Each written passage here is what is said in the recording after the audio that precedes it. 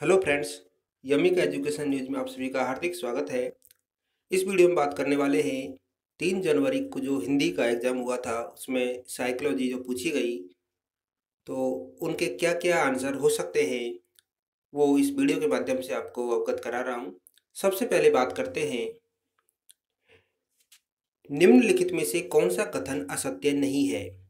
इसमें जो right answer आएगा, दो आएगा, दोनों सामाजिक, सांस्कृतिक अनुभवों को पाठ्यक्रम का हिस्सा बनाया जाए।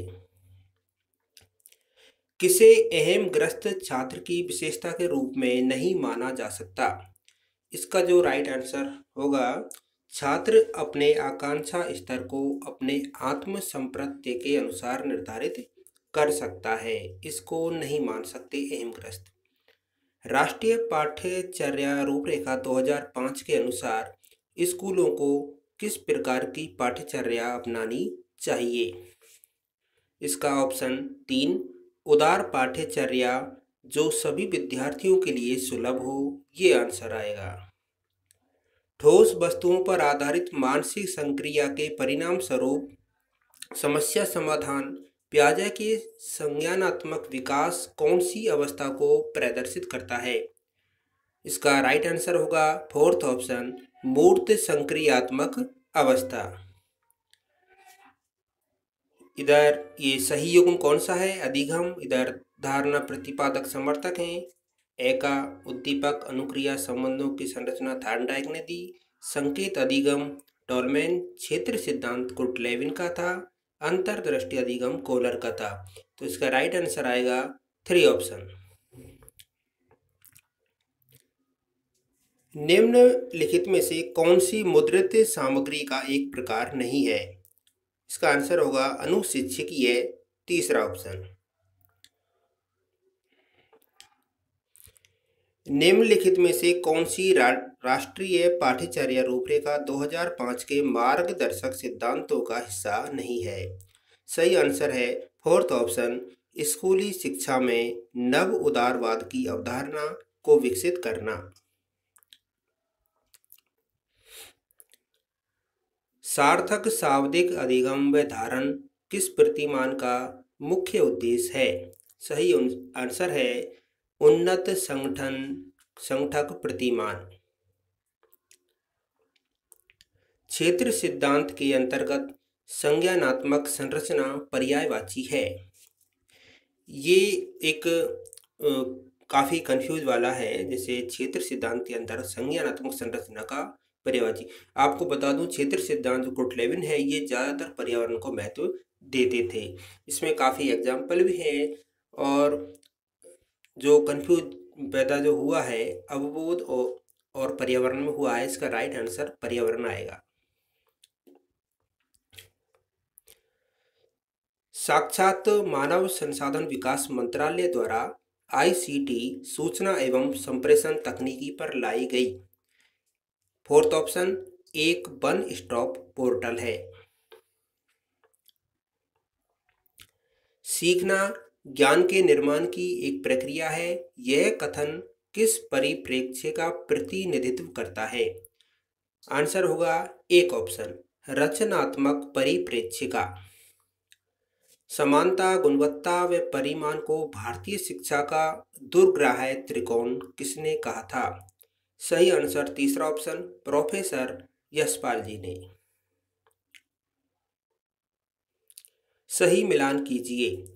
संज्ञानवादी अवधारणा, मुख्य प्रवर्तक। अभिग्राही अधिगम के जो प्रवर्तक थे आसुबेल, सतह व गहन उपागम के फेरेंस मर्टन, स्वनियमित अधिगम के बैरी जिमरमैन, विकासवादी सिद्धांत पर आधारित अधिगम प्याजे का। इसका राइट आंसर होगा फ़र्स्ट ऑप्शन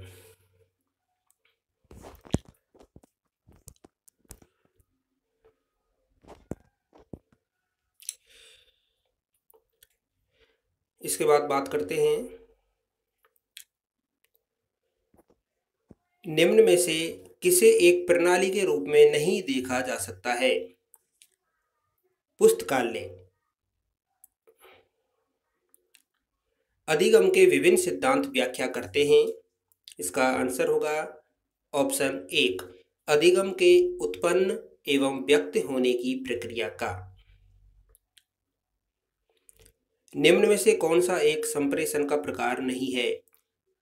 राइट आंसर, वैध संप्रेषण होगा। शिक्षा मनोविज्ञान की विषय वस्तु की व्याख्या के लिए उपयुक्त पद है। इसका आंसर होगा ऑप्शन टू, विकासशीलता। निम्न में से कौन सा अशाब्दिक संप्रेषण का उदाहरण नहीं है? ऑप्शन टू, जानबूझकर मुस्कुराना। सूचना एवं संप्रेषण तकनीकी द्वारा शिक्षा एक राष्ट्रीय अभियान के संदर्भ में कौन सा कथन असत्य नहीं है? ऑप्शन टू, ई विषय वस्तु का उत्पादन। निम्न में से कौन प्रभुत्ववादी अनुदेशनात्मक आव्यूह का प्रकार नहीं है? आंसर होगा ऑप्शन टू, योजना विधि। संज्ञान का अर्थ है ऑप्शन एक, कर्म अर्थात कार्य व भाषा के माध्यम से स्वयं और दुनिया को समझना। मैसिव ओपन ऑनलाइन कोर्सेज के लिए भारतीय माध्यम है स्वयं, ऑप्शन एक। निम्न में से कौन? प्रणाली के पहलू का तत्व नहीं है। राइट आंसर, फोर्थ ऑप्शन, अध्ययन। एक छात्र हिंदी कविता की आलोचनात्मक व्याख्या प्रस्तुत कर लेता है। उसका यह अधिगम व्यवहार किस अनुक्षेत्र में रखा जा सकता है? इसका राइट आंसर होगा, संज्ञानात्मक अनुक्षेत्र। निम्न में से कौन संप्रेषण प्रक्रिया का तत्व नहीं है? ऑप्शन एक, गंतव्य। कक्षा शिक्षण के संदर्भ में अधिगम एवं अभिप्रेरणा उत्पन्न करने के लिए किस प्रकार की जानकारी अपेक्षित नहीं है? ऑप्शन एक, विद्यालय में सेवा के लिए स्वीकृत नियम। आभासी अनुभव किसके माध्यम से बेहतर दिया जा सकता है? यहाँ पर बात की है बेहतर अनुभव देने की। तो मॉडल और कंप्यूटर दो हैं, लेकिन ज़्यादा बेहतर कंप्यूटर के माध्यम से दिया जाएगा।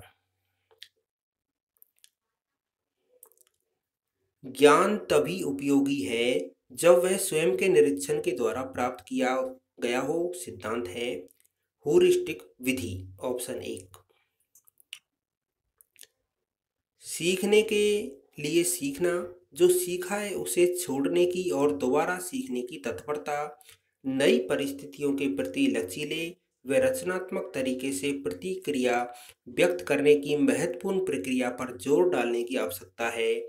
यह महत्वपूर्ण उद्देश्य था। राष्ट्रीय पाठ्यचर्या रूपरेखा 2005 का। अस्मिता के विकास के लिए सबसे महत्वपूर्ण समय होगा, वो होगा किशोरावस्था। तो ये मनोविज्ञान के तीस क्वेश्चन थे, जो मैंने आपको बताए। मैं स्वयं मानता हूँ कि संभवतः जो मैं तीस क्वेश्चन जो बताए हैं, एक एक आध क्वेश्चन कोई डाउटफुल हो सकता है, वरना सभी के आंसर एकदम सटीक बताए हैं, जो तथ्य जुटाए हैं। तो यदि आपने इस तरह के सभी सवाल किए हैं तो आपका जो पेपर है, बहुत शानदार कहा जा सकता है।